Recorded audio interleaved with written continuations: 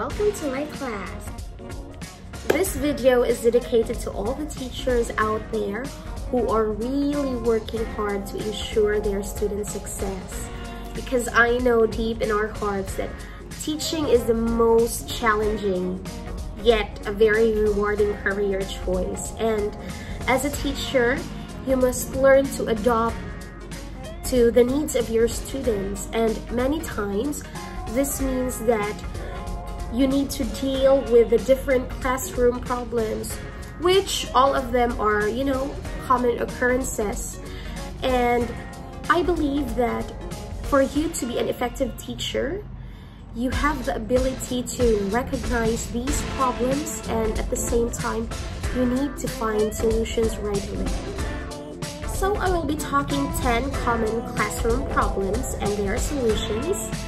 But before that, I have to elaborate that some of my solutions may not be appropriate with you and your classroom setup, and some of my solutions are appropriate with you, but not for me. So let's take it a two-way street. Okay, let's be mindful. And are you ready? Let's discuss now. Ah, isn't it very annoying when you have students who can't seem to listen, like they can't seem to follow directions or even pay attention to you? What solution can we possibly apply? Possible solution is that you need to ask your students what lesson or what thing you have just said. You get them involved. Uh, make them participate in your activity or exercises and even your classroom discussion. In that way, maybe you catch their attention so they will be able to listen to you. Isn't it very frustrating when you have students who are talking while you are also talking? Or maybe they're just talking about whatever they feel like talking and you feel that it's totally unrelated to your lesson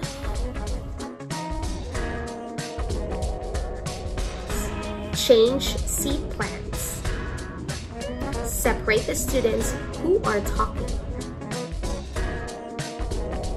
Do you feel that your classes are out of control, like whatever you do, it doesn't just seem to work?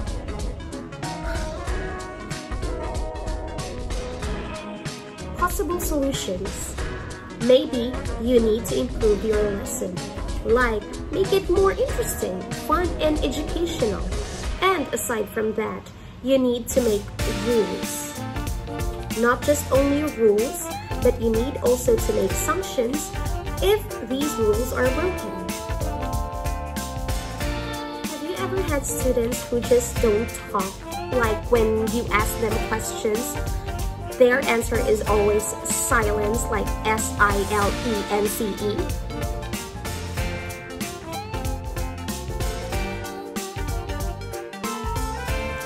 Possible solutions. Use pair work. Pair them with the other students. In that way, they will feel less pressured. One more thing, you can also make sentences and have that student finish your sentence. You can also do role play or dialogues from the story. Then give them roles, then they will be pretending to be someone else.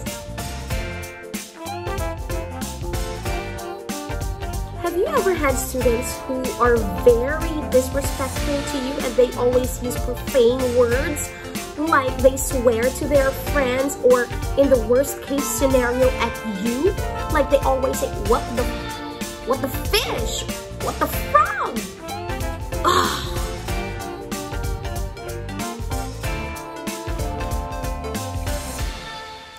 Possible solutions.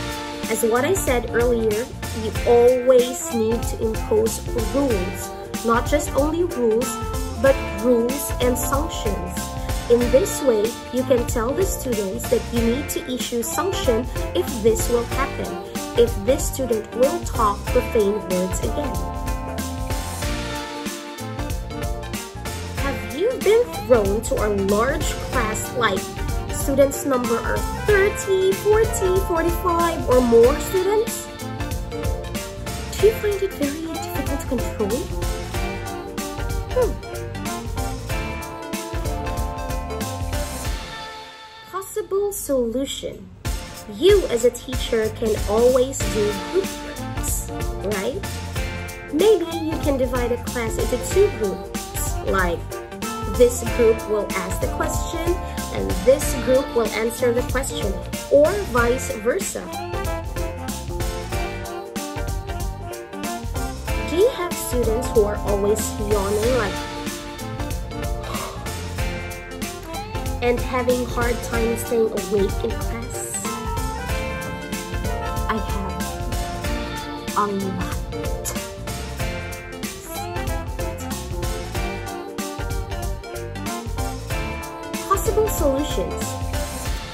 Can always use icebreakers in class. Or you can add games or activities in your classroom discussion. In that way, you can let them participate.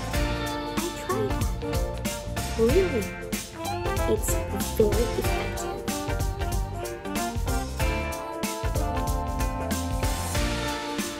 Is teaching stresses you out like every day you are always tired going to work?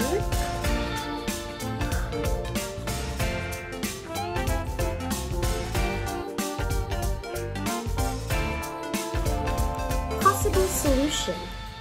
Try to have fun. Like Joe, play with your student and make your class active. And my tip is that don't think that teaching is just only a job. Teaching is a commitment. Don't think that your students are only your students. Think of them as your family. Love them and care for them.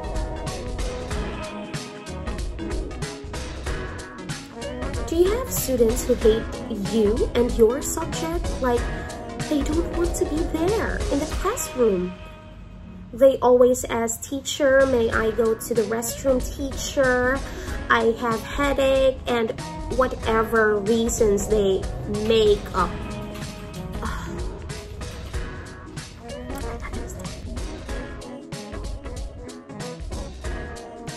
Possible solutions. Always start your class with games and icebreakers. Create more games in the class.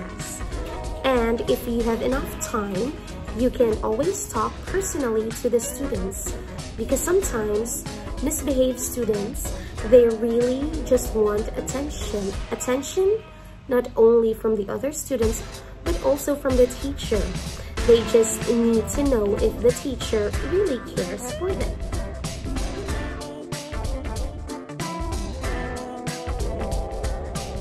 Students who are always using their mother tongue or their native language?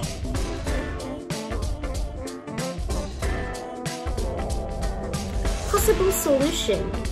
Before starting the class, you need to impose the rule that students aren't allowed to speak their own language unless the teacher asks them to do so. And if they do it, there will be consequences with their actions. Staying your composure in the classroom is very difficult.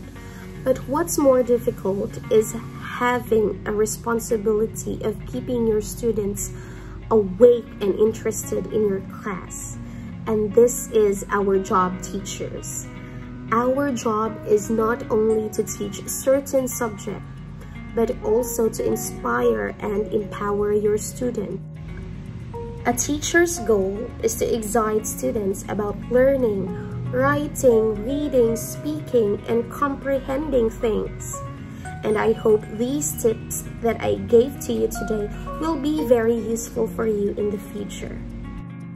Thank you so much for listening to me today and I hope you got a lot of ideas and information about this video.